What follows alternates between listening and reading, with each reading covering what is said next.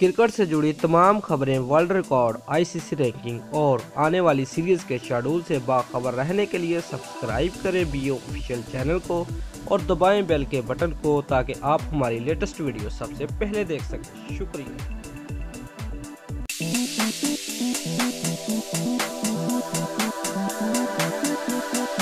Viewers Asia cup دو ہزار اٹھارہ بنگلہ دیش نے پاکستان کو جیت کے لیے دو سو چالیس رنز کا ہدف دیا۔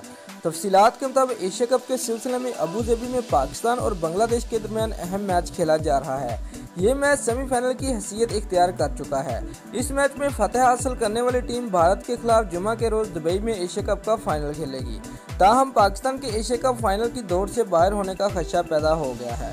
ویورز بنگلہ دیش کے خلاف پاکستان کی بیٹنگ لڑ کھڑا گئی ہے۔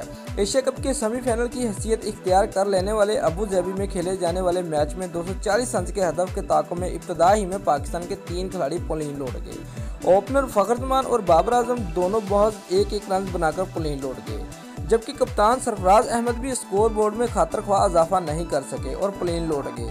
فخرزمان اور سرفراز احمد کیچ آؤٹ ہوئے، جبکہ Babar Azam L B W out ہوئے۔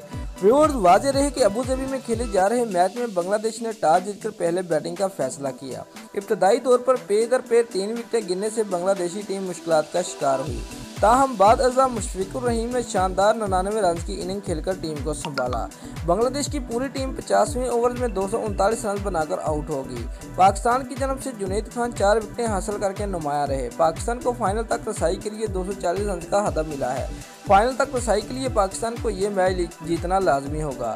ویورز عمران خان نے میچ کے بعد تبدیلیوں میں، ٹیم کی تبدیلیوں میں اشارہ دے دیا ہے۔ دوستو، اگر آپ کو ہماری یہ ویڈیو پسند آئی ہے تو لائک اور کمنٹ لازمی کریں اور ہمارے چینل کو سبسکرائب کرنا مت بھولیے۔ شکریہ۔